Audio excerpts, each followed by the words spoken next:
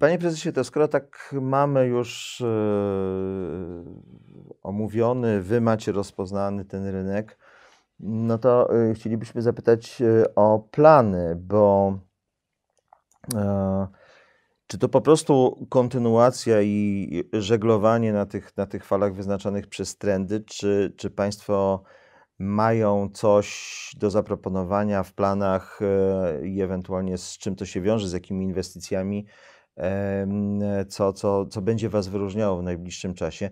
A może jakieś pomysły i, i przyszły do głowy przy okazji pandemii, która też biorąc pod uwagę to, że yy, wasz podstawowy surowiec pochodzi jednak spoza Polski, no, no też pokazała, że e, w przyszłości będziemy musieli sobie e, radzić z rozmaitymi wyzwaniami, których 30 lat temu nie braliśmy pod uwagę, a choćby kwestie klimatyczne, a choćby kwestie e, dostaw i, i gwarancji tych dostaw na, na czas z, z odległych krajów.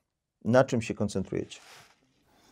Uważam, że bardzo ważne są fundamenty firmy. Tak jak mówiliśmy wcześniej, mm, za każdą firmą stoją ludzie i mm, za, za każdą sprawą czy projektem i, i to jest ten sukces czy, czy brak sukcesu firmy, więc firma to ludzie e, i to jest ten najsilniejszy fundament, o który my jako rodzina dbamy, żeby ci ludzie rozwijali się razem z firmą, żeby mieli ciekawe wyzwanie, żebyśmy mieli wspólną perspektywę, która nas na, napędza.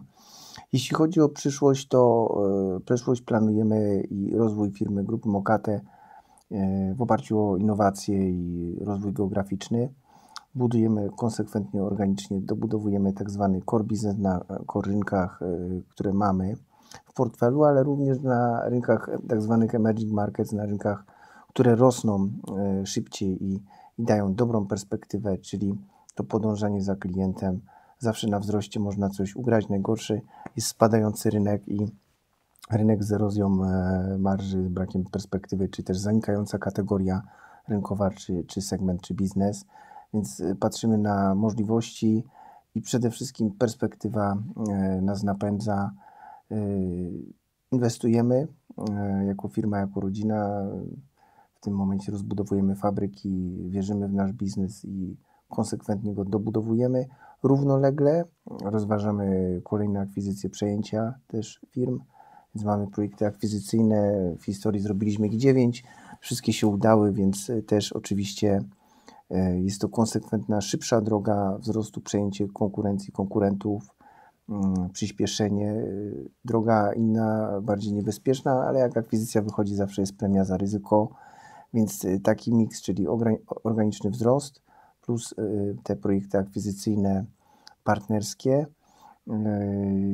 i innowacja, czyli patrzymy na rozwój, rozwój taki, że chcemy zaproponować nowe, nowe portfolio zgodne z, z trendami rynkowymi, z tym, co konsument chce dostać, jak chce konsumować, yy, z oczekiwaniami rynku. No właśnie miałem zapytać, co w tym biznesie y, nazywa Pan innowacją? No bo jednak y, picie kawy czy, i przygotowywanie wydaje się dosyć tradycyjną czynnością, prawda?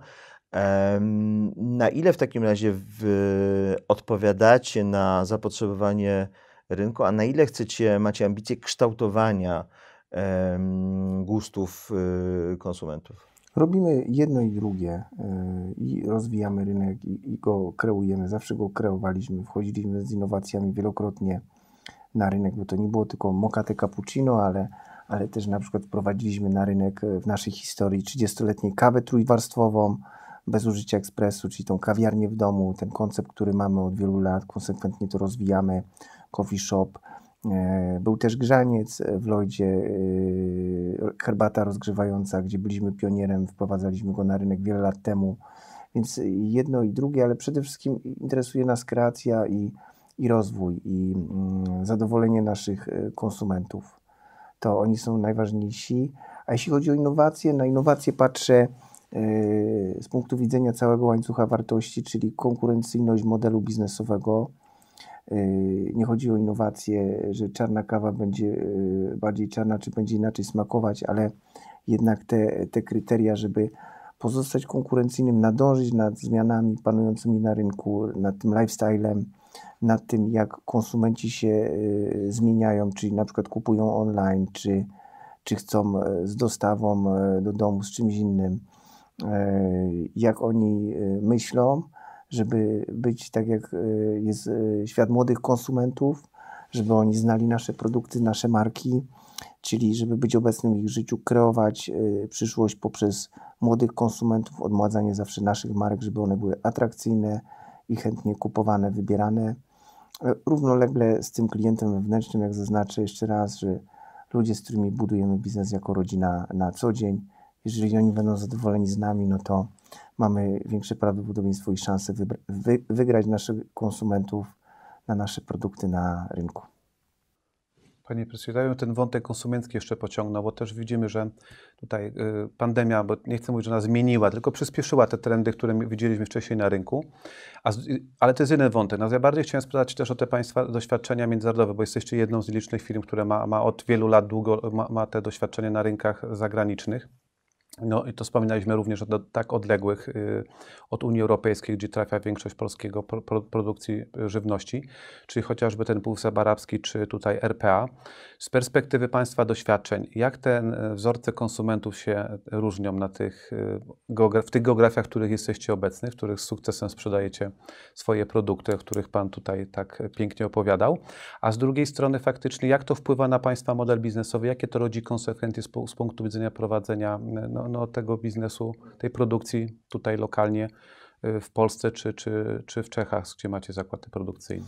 Najpierw staramy się zrozumieć biznes, rozpoznać tak zwane boisko, na którym mamy, czy chcemy, czy planujemy zagrać, a potem, a potem cyfry. Nie rozpoczynamy żadnego projektu jako firma, nie mając ludzi. Wierzymy, że zaczyna się od ludzi, jak jest dobry pomysł, jak nie ma ludzi, nie realizujemy projektu. Y, czyli zawsze staramy się mm, dobrać właściwą osobę, kompetentną, głodną sukcesu, żeby doprowadzić do, do pomyślnego finału i sukcesu y, projektu, który organizujemy, czy to jest projekt geograficzny, czy, czy też nie. Każdy kraj się różnicuje, każdy kraj jest inny. Nawet małe rynki w regionie, czy to jest Europa, mówimy Prebałtyka, czy mówimy Bałkany, każdy ten kraj jest inny. I ogromny szacunek y, i do każdego kraju i jego mieszkańców, żeby zrozumieć, jak oni konsumują, dlaczego słodzą dwie łyżeczki cukru, a, a czemu piją e, kawę bez cukru. To są e, takie niuanse, one bardzo różnicują i powodują, że yy, błędy, podstawowe błędy szkolne eliminują biznes. Czyli na przykład, jeżeli w danym kraju dobierze się złą mieszankę kawy i lubią w danym kraju na przykład pić Riumie z Brazylii, dobierze się coś innego, bo firma powie, no nie, no my mamy w naszym kraju taką mieszankę i będziemy ich uczyć pić e, w taki, taki sposób, takie kubki smakowe. Kończy się to zawsze tak samo.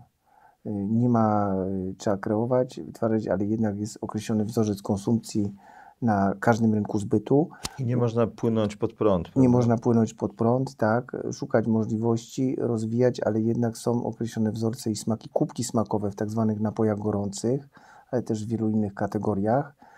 E, biznes europejski różni się od e, pozaeuropejskiego, czyli e, jak dobudowywałem firmę, zaczynałem od Bliskiego Wschodu, Potem wybrane rynki Dalekiego Wschodu, Afryka i Ameryka Południowa wybrane rynki.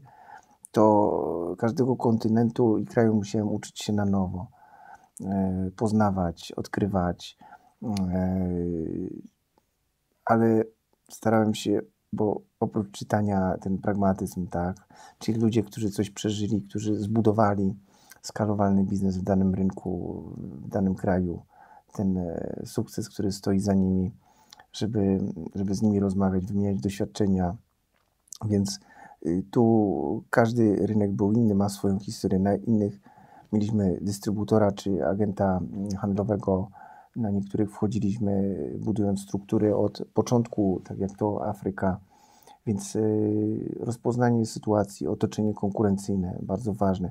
Zrozumienie, w jakiej fazie rozwoju jest rynek i na co pozwala, jakie są możliwości, czy, czy rynek daje możliwość e, zarobienia pieniędzy, czy trzeba na przykład dać 5-10 lat, żeby złapać tak zwany break-even, czyli taka metoda troszkę środka, ale zrozumienia tego, co faktycznie się dzieje i na co rynek pozwala i może nam dać jako firmie i rodzinie. Zawsze traktuję i uważam, że co roku biznes powinien być lepszy.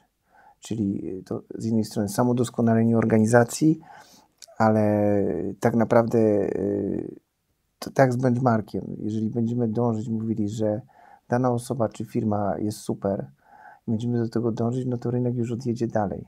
Więc tak naprawdę to jest pokonywanie swoich słabości, wyciąganie wniosków e, z porażek, e, ale też sukcesów.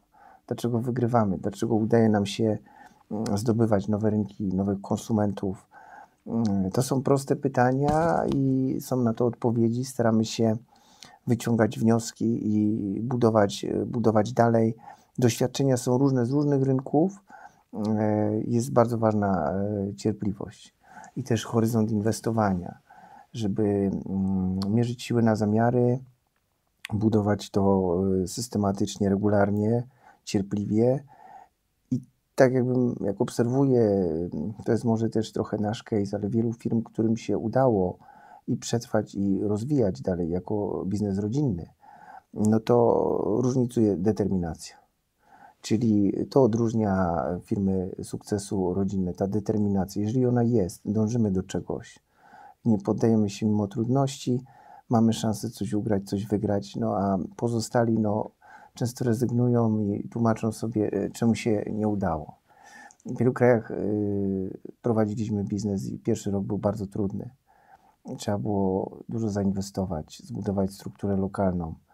Natomiast y, no jeżeli ustaliliśmy, że nam się nigdzie nie śpieszy i wierzymy, że to jest dobry kierunek, jako rodzina budujemy na pokolenia, no to nie musimy sobie udowadniać, że zarobimy w styczniu czy za rok. Mówimy, to jest perspektywa firmy rodzinnej, budujemy do przodu, to the next level.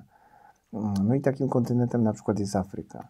Afryka, głodny kontynent, natomiast to są projekty długofalowe, y, dają możliwości, e, mają premię za ryzyko, ale są bardzo dużo określone też ryzyka e, współpracy na tym e, kontynencie, więc robimy to sekwencyjnie, krok po kroku, bez pośpiechu, cierpliwie, ze zrozumieniem, wierząc, że y, uda nam się to dobudować jako rodzinie. Ale to nie jest dla wszystkich bardzo często jest tak, że biznes rodzinny jest e, sfokusowany na krótkim wyniku.